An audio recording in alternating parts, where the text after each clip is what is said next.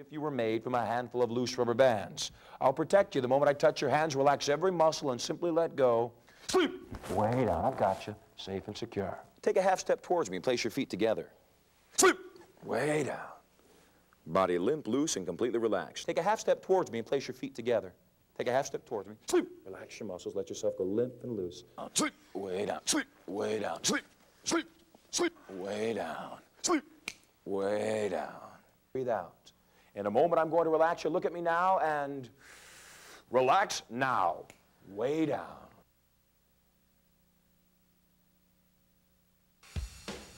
Welcome to How to Hypnotize Others, Volume 1, with me, Marshall Sylver. The media has called me the greatest hypnotist of all time, for which I'm grateful. I've had the opportunity to appear on Late Night with David Letterman, The Late Show, Montel Williams, and many, many more. As an entertainer, my show has headlined on the main stage of the Riviera in Las Vegas and at Caesars in Lake Tahoe. What I do is more than entertainment, though. I also train individuals and corporations on getting more in their lives. I've had the opportunity to work with corporations like IBM, Ford, and many, many more. My audio, video, and in person training programs are on the cutting edge of my technologies. So sit back and relax and enjoy the video. yeah. Welcome to Volume 1 of How to Hypnotize Others. This is the first in a series of videos designed to teach you how to hypnotize other people. There are three major reasons that you might want to learn how to hypnotize other people. The first is to help those that you love get more from their lives and have them help you. The second major benefit is refining your own communication skills to powerfully influence other people. The third is to learn a skill that could potentially make you thousands of dollars as a hypnotist or hypnotherapist.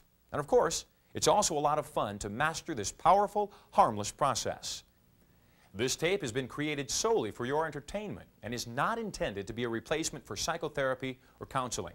Should you want to learn more about this process and the many varied applications, I recommend that you join me at my seminar called The Training or at my Hypnosis Certification Program. For more information about these programs, call my corporate offices. Besides the huge increase in personal confidence that you'll gain from learning to hypnotize others, you'll also understand more about yourself and be able to more quickly change your own habits through an understanding of how the human mind operates. This video is going to teach you three major lessons essential to learning how to hypnotize others. The first is it's going to teach you the fundamentals of inducing trance. You're going to learn all of the key elements to placing another person into a highly responsive state of mind where they'll have a strong desire to respond to the suggestions that you give them. You're also going to learn a process called psychoneuroduplication. PND is the ability to duplicate the mind or psyche and the nervous system and physiology of another individual to create similar results. Now, even though this process could be used to duplicate anything, from the skills of a professional salesperson or a martial arts master. In this instance, you're going to use it to learn how to immediately take on the major characteristics of someone who is an authority in the process of hypnotizing others. And finally, you're going to learn the easiest and one of the most effective hypnotic inductions ever created. It's called the hand clasp induction. And by the time you're done viewing this video, you'll have seen all of the elements necessary to put other people into hypnotic trance. Understand that all hypnosis is ultimately an individual responding to what may be considered self-hypnosis. To understand trance, you must understand that it's the non-critical acceptance of ideas or concepts on a subconscious level. In other words, if someone says something to you and you believe it, you've been hypnotized. In the same instance, if you say something to yourself and you believe it, that's also considered trance.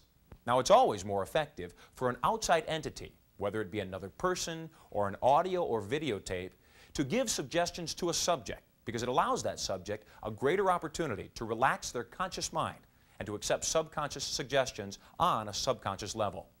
First, let's take a look at how the human mind operates. To understand how to effectively program your mind, you must realize you think on two distinct levels, consciously and subconsciously. Your conscious mind is what's called your critical factor. It decides what you can now believe and at some other time what you don't. It's the mind that makes judgments about what's good or what's bad, what you can do and what you can't. Your subconscious mind is just a computer. It cannot make judgments. Just like a computer, it does not have the ability to reason. Whatever gets into your subconscious mind, it believes to be true. When you put garbage into a computer, you get garbage out. Hypnosis is setting aside your conscious mind and speaking directly to your subconscious computer.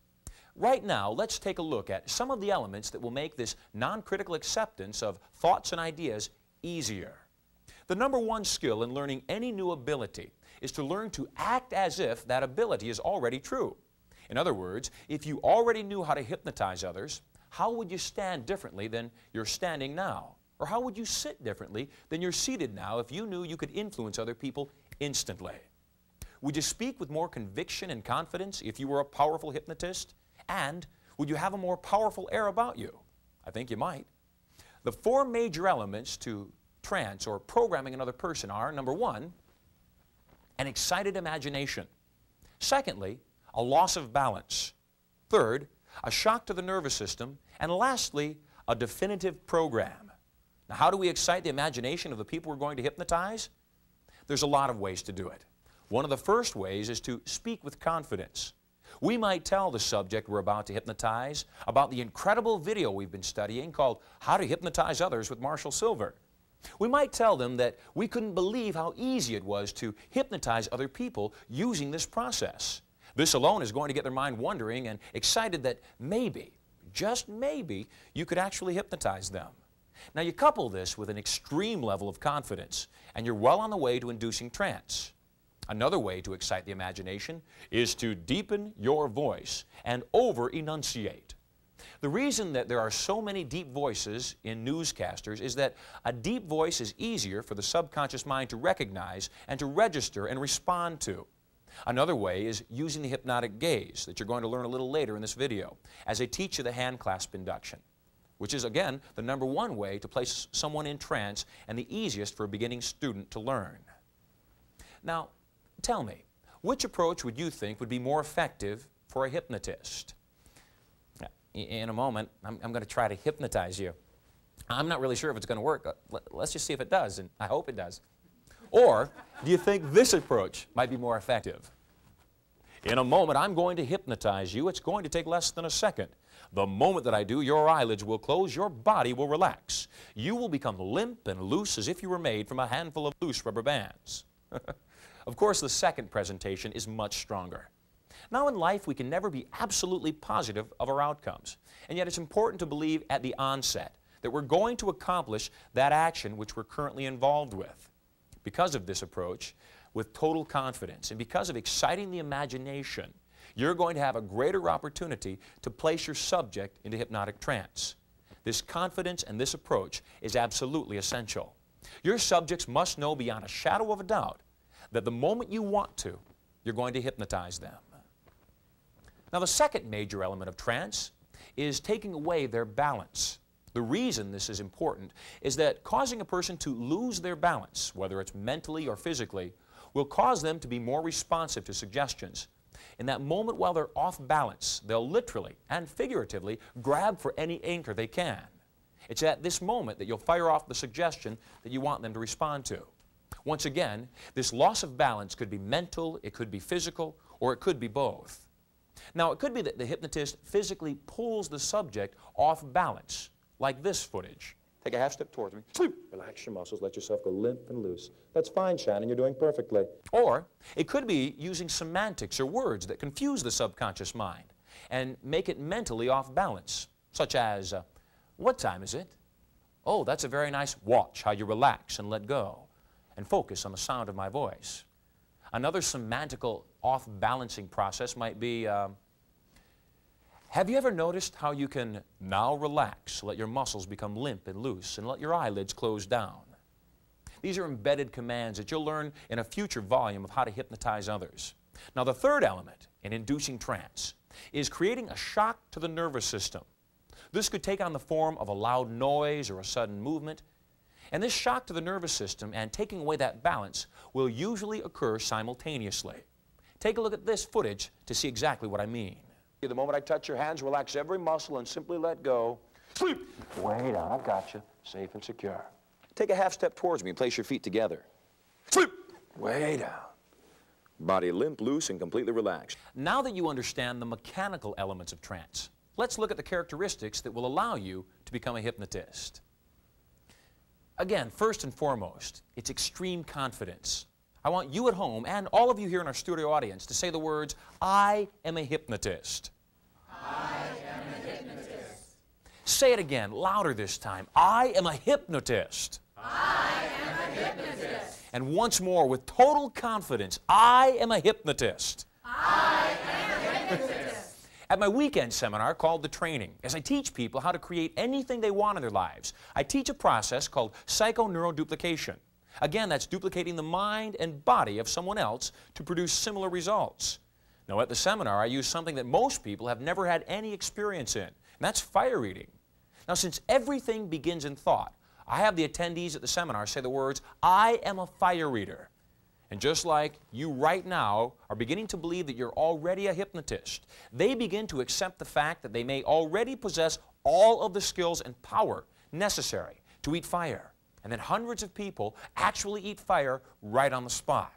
The next characteristic of a hypnotist is the ability to take charge. In my sales seminar, Hypnotic Selling, I teach that small commitments lead to large commitments. When we can get our subjects or our customers to follow simple directions, such as sit down, move your chair over there, place your hands in your lap, then it gets easier to get them to follow bigger directions, such as relax now. Also, suggestions like your eyelids are now locked down and you cannot open them. The next characteristic of a hypnotist is the ability to deal with whatever emerges. What this means is that no matter what happens, no matter what the subject says or does, the hypnotist will act as if that was exactly what they expected would happen, and they'll continue with the process. The last characteristic of a hypnotist is congruency, or the ability to walk their talk, and a total belief in what you're doing and your outcome. Just like you might not want to go to a doctor who smokes to stop smoking, you must have a genuine belief in what you're doing and that it works and that you're going to put that subject into trance and that they're going to respond perfectly to your suggestions. In a moment, we're going to select someone from our studio audience. I'm going to bring them forward and actually hypnotize them on the spot. You might want to grab a pencil and paper and take some notes as I demonstrate this process so that you can hypnotize someone where you're at as well. Go ahead and pause the tape, and as soon as you grab your paper and pencil, we'll be set up and ready to get back to you to teach you the hand clasp induction.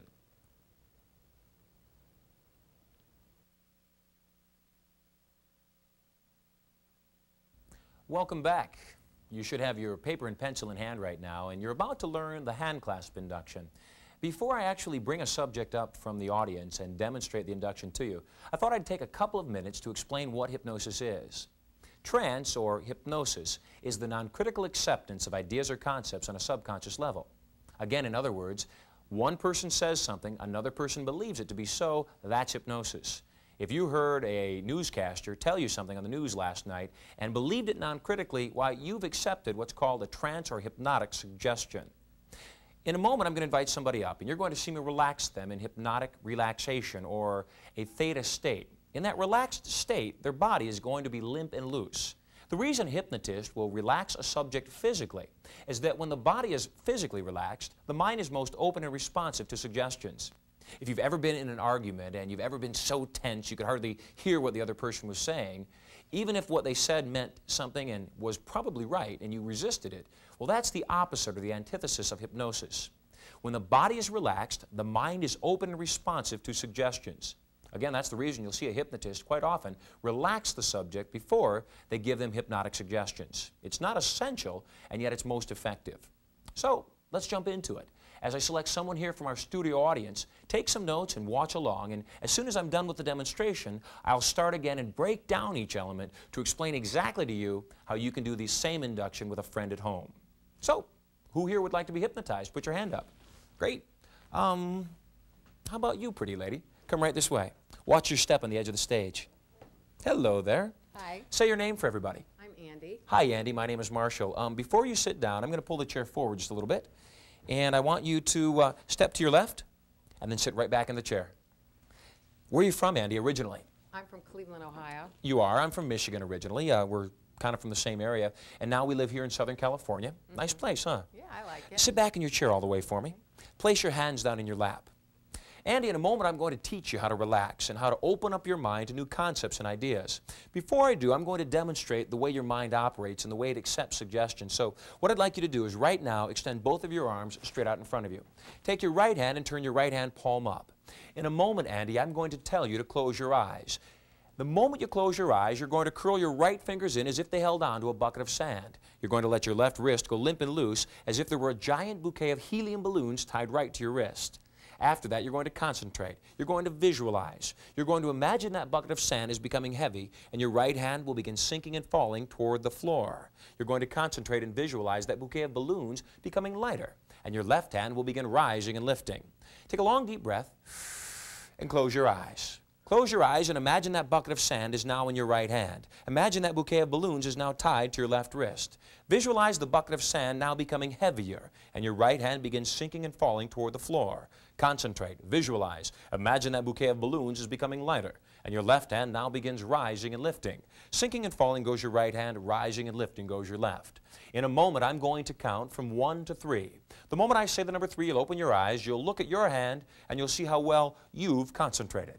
On the count of three, open your eyes, look at your hands, see how well you've concentrated. One, two, and three. Open your eyes and look at your hands. Well, as you can see, Andy, you're concentrating perfectly, and you're going to be an excellent subject. So drop your hands back down and relax. Andy, in a moment, I'm going to hypnotize you. It's going to take less than a second. The moment that I do, you'll place both your hands straight out in front of you. And this time, you're going to place your palms facing towards each other and spread your fingers wide. That's fine. You're doing perfectly. After that, I'm going to tell you to close your eyes. The moment you close your eyes, it will feel as if there are magnets in your palms, and your hands will begin pulling and tugging together. The moment your fingers touch, you will allow them to now interlock and clasp your hands down tightly. That's fine, you're doing perfectly. Extend your hands straight out in front of you, palms approximately 12 inches apart, fingers spread. In a moment, I'm going to tell you to close your eyes, and the moment you close your eyes, it will feel as if there are magnets in your palms, and your hands will begin pulling and tugging together. The moment your fingers touch, they will now interlock and clasp down tightly. Extend your hands straight out in front of you. Take a long, deep breath. Spread your fingers now and breathe out. Breathe in deeply. And now close your eyelids down tightly. Close your eyelids down now, and it feels as if there are magnets in your palms. Your hands begin pulling and tugging, tugging and pulling, pulling and tugging together. As if there were magnets in your palms, your hands are pulling together, locking down, sealing shut, clasping tightly together the moment they touch. That's fine, Andy. You're concentrating perfectly. Andy, in a moment, I'm going to touch your hands, and the moment I touch your hands, your fingers will lock even more completely tighter together. Locking down, sealing shut, clasping tighter and tighter together. That's fine, Andy. You're concentrating perfectly. Andy, in a moment, I'm going to count backwards from three to one. The moment I say the number one, you will try to unclasp your hands. The moment I say the number one, you will try to unclasp your hands. And the more you try to unclasp your hands, the more securely locked down your hands will become. On number three, your hands are indeed locking down, sealing shut, clasping tighter and tighter together. There will be nothing you can do, say, or think that will allow your hands to separate. On number two, it feels as if your hands were carved from a single block of wood. On the next number, number one, you will try to unclasp your hands. The moment you try to unclasp your hands, they lock down, seal shut, clasp tighter and tighter together. Number one, make the attempt, satisfy yourself, try to unclasp your hands. The more you try to unclasp your hands, the more securely locked down they become. Try even harder. That's fine, you're doing perfectly. Stop trying now. Allow your hands to remain extended straight out in front of you. In a moment, Andy, I'm going to touch your hands. And the moment I touch your hands, they will easily and readily unlock. In fact, the moment I touch your hands, you'll relax every muscle in your body and you'll become as limp and loose as if you were made from a handful of loose rubber bands. The moment I touch your hands, relax every muscle, become limp and loose as if you were made from a handful of loose rubber bands. Sleep! Relax way down. Andy, in a moment, I'm going to count from one to three. On the count of three, you'll open your eyes, feeling fantastic in every way. The moment I say the words, relax now, and snap my fingers, your eyelids close, your body relaxes, you'll let go even more completely than you are right now. On the count of three, open your eyes. When I say the words, relax now, and snap my fingers, your eyelids close, your body relaxes, you'll let go even more completely than you are right now.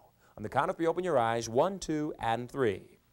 Sit up and relax now, way down. Each and every time you relax in this fashion, you'll let go even more completely than the time before. On the count of three, open your eyes. When I say relax now, you let go again. One, two, three, fully aware. Relax now. Way down. That's fine. And in a moment, I'm going to tug lightly on your right arm. As I tug on that right arm, the muscles in your shoulder, your arm, and your hand will become stiff and rigid as if they were made from a bar of steel. The moment I tug on that arm, those muscles will tense and become stiff and rigid as if they were made from a steel bar. Stiff and rigid as a steel bar. Freeze the muscles in your arm in that position. As I tug on them, they become more stiff and rigid as a steel bar. And in a moment, I'm going to count from one to three. On the count of three, you'll open your eyes. You'll try to move your arm. And again, the more you try to move it, the more stiff and rigid it becomes. On the count of three, open your eyes. Try to move your arm. And the more you try to move it, the more stiff and rigid it becomes. One, two, and three. Open your eyes, sit up in your chair, and try to move your arm. The more you try to move that arm, the more stiff and rigid it becomes.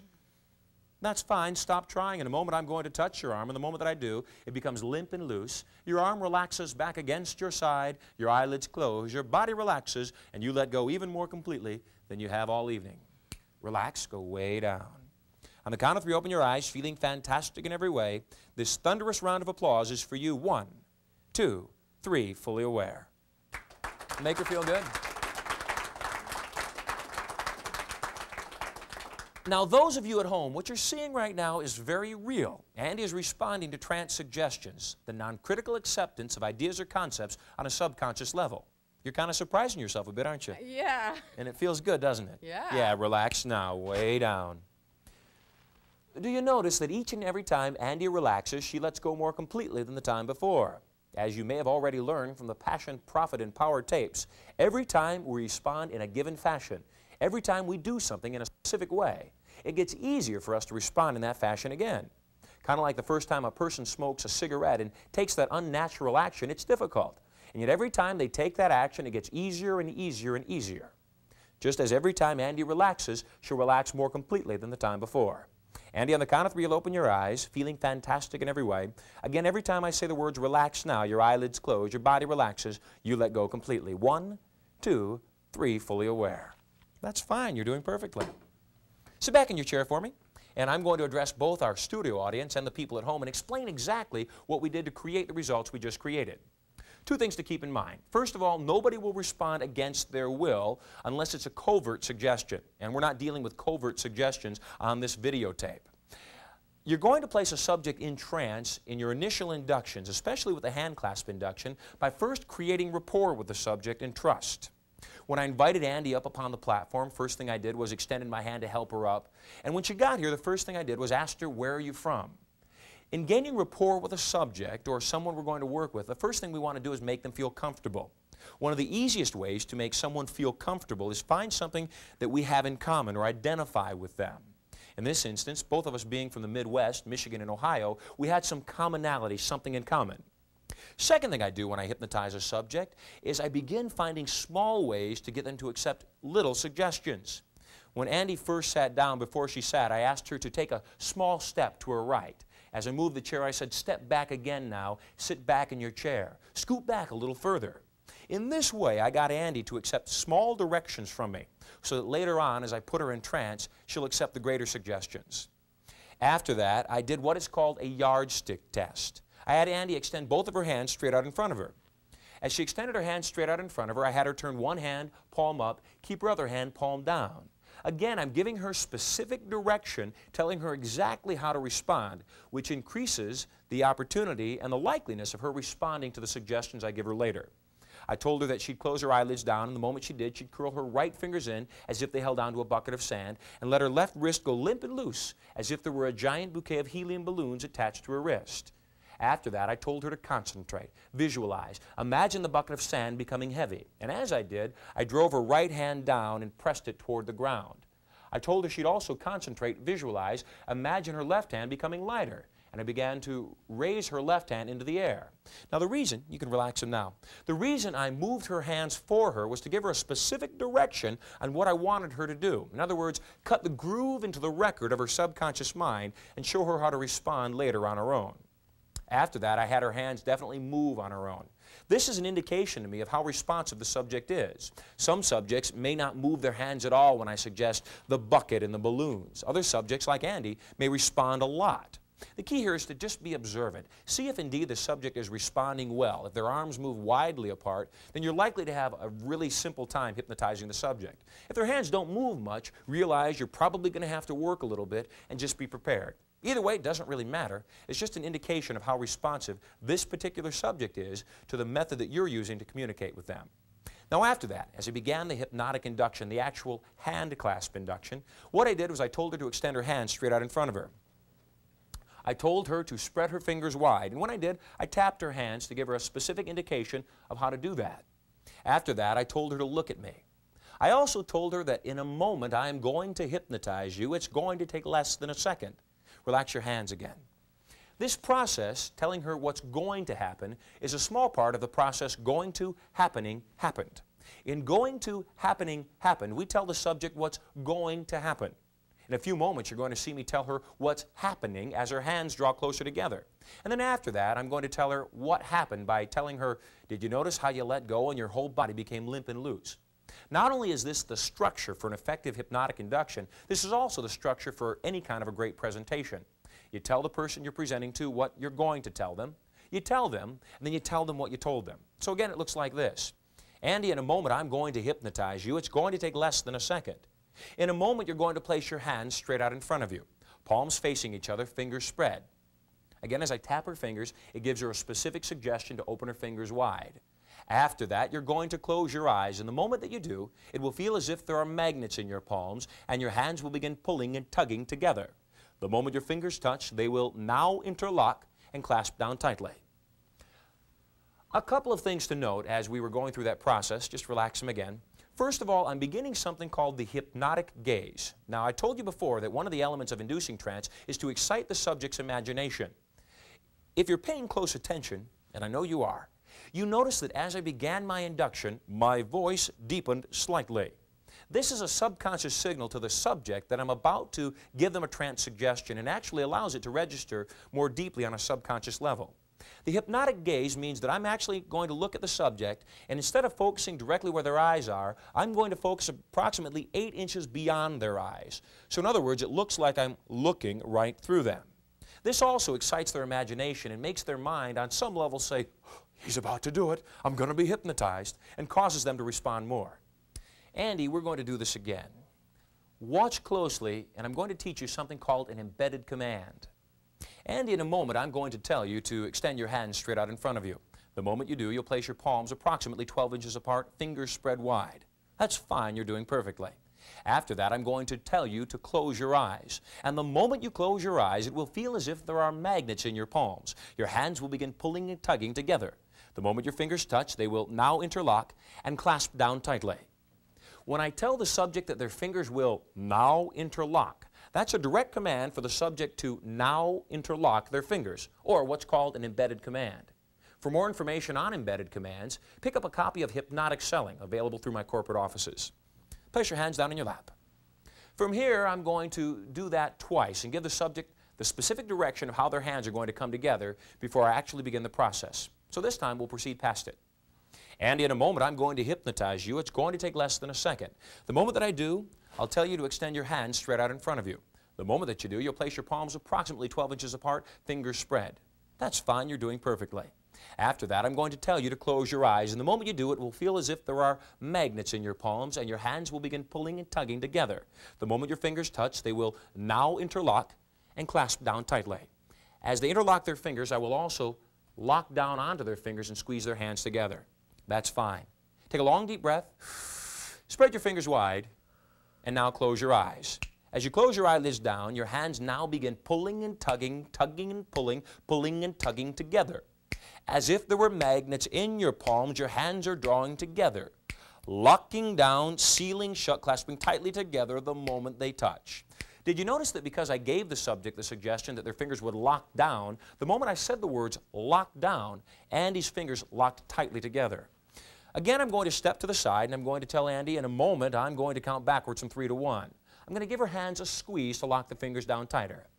I'm going to tell her, Andy, in a moment you're going to try to unclasp your hands. The moment you try to unclasp your hands, you'll find that there's nothing you can do, say, or think that will allow your hands to separate. The key word in this suggestion is the word try. Anytime I give a hypnotic subject the suggestion to try something, it's suggesting that they'll fail. So when I tell her to try to unclasp her hands, I'm actually telling her not to unclasp her hands at all. So it goes like this. Andy, in a moment, I'm going to tell you to try to unclasp your hands. In a moment, I'm going to count backwards from three to one, and the moment you try to unclasp your hands, the more you try, the more securely locked down your hands become. Two elements at play here. Number one, the word try. I'm telling her again, in a moment, I'm going to tell you to do something. You're going to try to unclasp your hands. I also give her something called a direct link. A direct link means I'm combining two elements to cause a specific result. In this instance, I'm combining the act of trying to unclasp her hands with her hands actually clasping down tighter. By giving the suggestion, the more you try to unclasp your hands, the more securely locked down your hands become. Again, that is what's called a direct link. And in a moment, I'm going to count from three to one. The moment I say the number one, you'll try to unclasp your hands. Also, notice every time I say the word try, I emphasize it and I change my tonality. As I count backwards from three to one, the moment I say the number one, Andy, try to unclasp your hands. On number three, your hands are locking down, sealing shut, clasping tighter and tighter together. On number two, it feels as if your hands are carved from a single block of wood. On the next number, you'll try to unclasp your hands. The more you try, the more securely locked down your hands become. Number one, make the attempt, satisfy yourself, try to unclasp your hands. Now, as the camera comes in real close on her hands, you'll see that they're actually pressing tighter together now. That's fine. Now I give her the suggestion to go into trance by again doing a direct link. I tell her, Andy, that's fine, stop trying. Now, I don't want my hypnotic subject to continue trying to unclasp their hands forever because, frankly, quite often, eventually they would. Instead, what I'm going to do is say, that's fine, stop trying. And in a moment, I'm going to touch your hands. The moment I touch your hands, they will easily and readily unlock.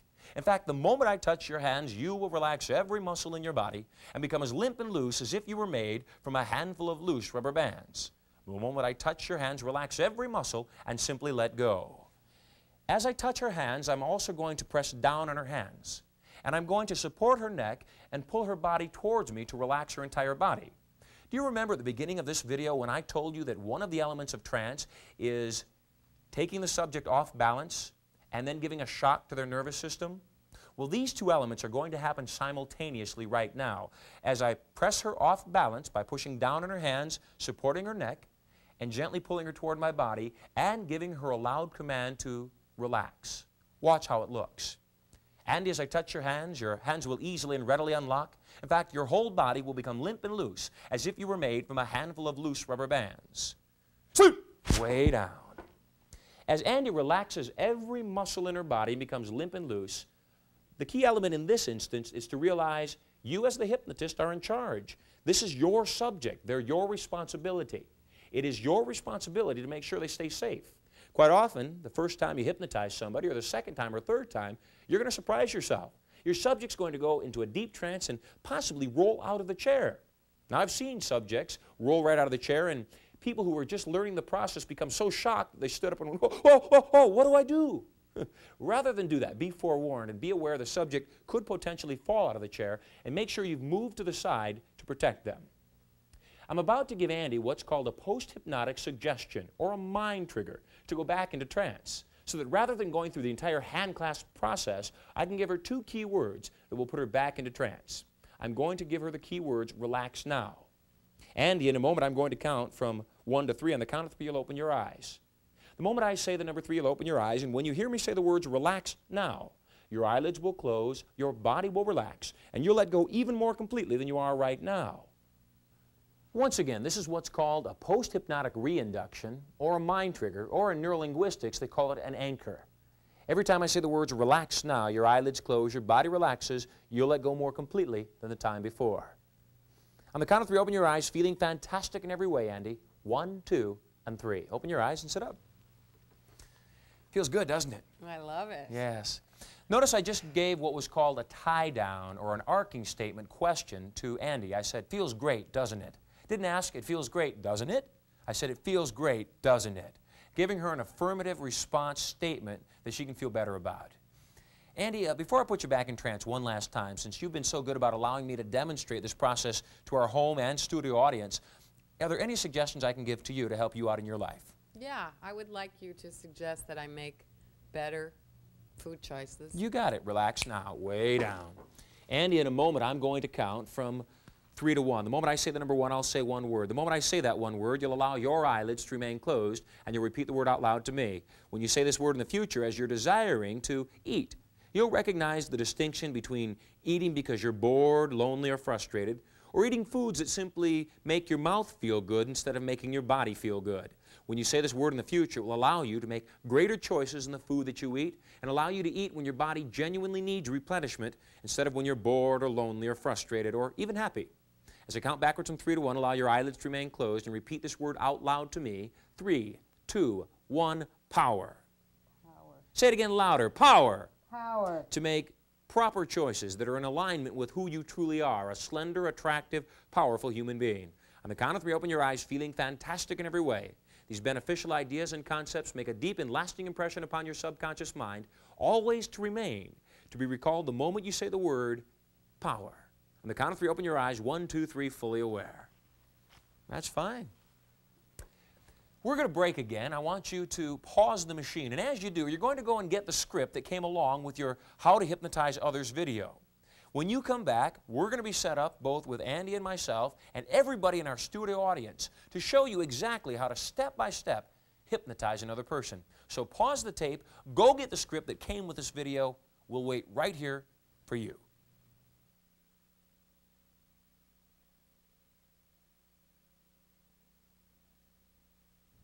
Welcome back. You should have the hand clasp induction script in your hands right now. It's a two-sided piece of paper that came along with your How to Hypnotize Others video. You're going to follow along in this script, and as I work with Andy, see how easy it is to learn this powerful process. To begin with, I recommend that you face your subject directly like this. Hello there. Hello. Um, sit back in your chair a little bit. Again, remember, these are the little control or structured suggestions that you begin the process with. Take the script and uh, place it right on your lap like this. You look down at the script and the first sentence says, In a moment I'm going to hypnotize you. In a moment I'm going to tell you to extend your hands straight out in front of you. When you do this, you'll place your hands approximately 12 inches apart. After that, I'll tell you to close your eyes. Now, in the beginning, you'll have to read your script. As you're reading through all of this, you'll notice that partway down in your script, by the fifth paragraph, the printing becomes bold. At the bold printing, it's telling you to take an action. And what it says is, as you read the above, go through the motions of putting their hands together. So I say, in a moment, I'm going to tell you to extend your hands straight out in front of you. When you do, you'll place your palms approximately 12 inches apart. After that, I will tell you to close your eyes. The moment you close your eyes, it will feel as if there are magnets in your palms and your hands will begin pulling and tugging together. The moment your fingers touch, they will now interlock and clasp down tightly. It says, as you're reading the above, you're moving their hands together, when their hands come together and touch, make sure they clench their fingers together. Then you say, that's fine, unclasp your hands. The script says repeat this a second time. So you go back to the top of the script and say, in a moment I'm going to tell you to close your eyes. In a moment I'm going to hypnotize you. It will take less than a second. In a moment I'm going to tell you to extend your hands straight out in front of you. When you do, you'll place your hands approximately 12 inches apart. After that, I will tell you to close your eyes. The moment you close your eyes, it will feel like there are magnets in your palms and your hands will begin pulling and tugging together. The moment your fingers touch, they will now interlock and clasp firmly together. That's fine. Now unclasp your hands. After you've repeated it a second time, have them spread their hands again. Now we go into the induction. You say, look at me now, and close your eyes. When they close their eyelids down, you can look at your script as much as you want because they can't see you. The next thing you're going to do is say, as you close your eyes, your hands begin pulling and tugging, tugging and pulling, pulling and tugging together. I begin snapping my fingers to give them a rhythm, and the sound of my voice makes their hands come closer together. As if there were magnets in your palms, your hands are being drawn together. Now notice that her hands came together before I got done with that portion of my script. Fear not. The moment you see their hands locked together, look down at the next sentence and it says, locking down, sealing shut, clasping tightly together the moment they touch. Now, as her hands lock down, you'll notice the next paragraph is not in parentheses. It's not in quotation marks. So, as you say, locking down, sealing shut, clasping tighter and tighter together, If you should encounter any resistance with your subject, it's going to give you some strategies on how to deal with it on your printed script. After their hands have locked down, flip over your script and continue. It says, again in the quotation marks, in a moment I'm going to count backwards from 3 to 1. The moment I say the number 1, you will try to unclasp your hands. The moment you try to unclasp your hands, you'll find there is nothing you can do, say, or think that will allow your hands to separate. In fact, the more you try to unclasp your hands, the more securely locked down they become. On number three, your hands are locking down, sealing shut, clasping tighter and tighter together. Notice my slight shift in tonality. On number two, it feels as if your hands were carved from a single block of wood.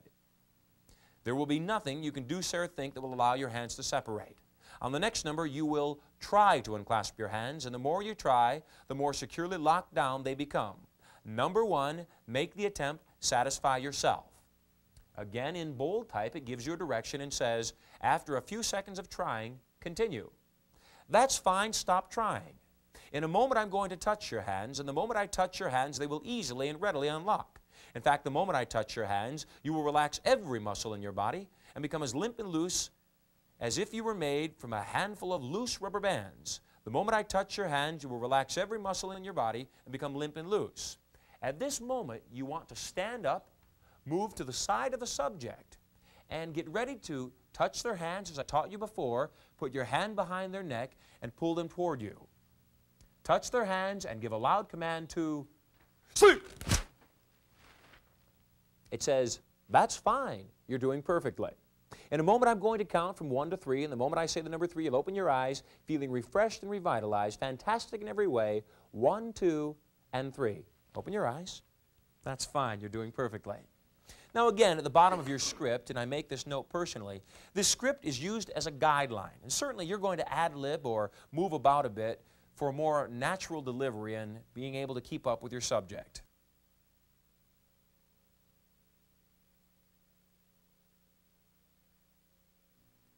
There you have it. This concludes Volume 1 of Hypnotizing Others. You've learned the basics of hypnosis. You've learned the characteristics of a hypnotist. You've also learned the most powerful and the easiest to learn hypnotic induction, the hand clasp induction. Now it's up to you to practice. Work with subjects as often as you can. I recommend that you maybe start with somebody not real close to you, maybe not a family member or someone you know very well. Start with someone who might realize that you could hypnotize them and then bring it closer to home. You know, hypnosis can be used for a lot of things. It can be used for curing phobias, overcoming resistance to change, helping you lose weight, become a non-smoker, making you more focused and confident, and also helping you sleep better. Now, I encourage you to watch this tape again and again to learn the lessons. I also invite you wholeheartedly to join me at a one-on-one -on -one seminar, the training, the advanced training, or our 50-hour, five-day intensive hypnotic certification course. Until we meet again, my name is Marshall Sylver. Thank you for letting me be this great part of the advancement of you and your life. Until we do meet again, remember to celebrate life. Thank you. Yeah.